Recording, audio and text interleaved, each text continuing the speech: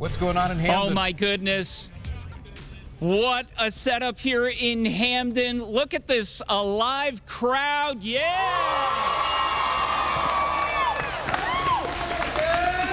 I mean, New Haven, what's up, right? I feel the energy here. I see the gold, the green this morning, and I want to say good morning to you. Thanks for having us here at your beautiful school. Thank you, Gail. So happy to have you here. We have a couple things for you. We have our Hamden Pride, Family Pride Wow. shirt with your name on the back. Oh my goodness.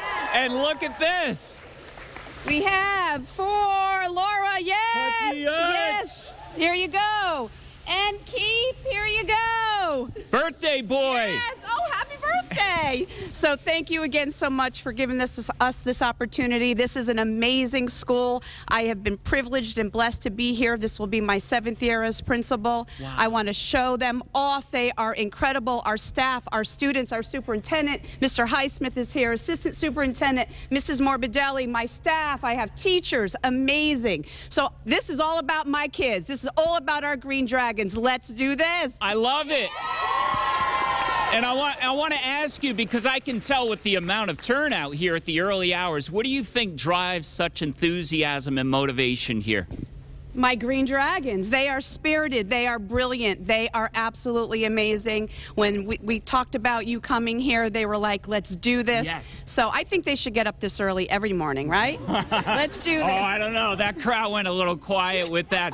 Well, we can't wait to see what everything here you have to offer. And uh, thank you again for getting everybody together early on. Thank you for being here. All right, let's get a name here. And who are you representing? I'm Aaliyah and I'm representing Hamden Cheerleading.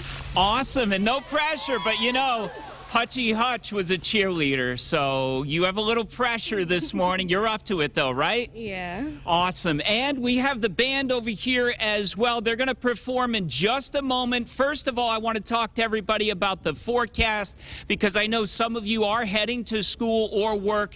And we do have some fog issues out there. It's very foggy in some areas, other areas, not much fog at all. So be careful.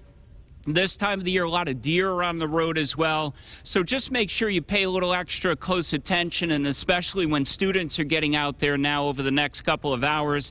As far as the school day ahead, Temperatures now 30s, 40s. They're going to warm up for a great recess stretch. Any clouds and fog will burn off. Afternoon temperatures unbelievable for this time of the year. Once again, 60s and low 70s.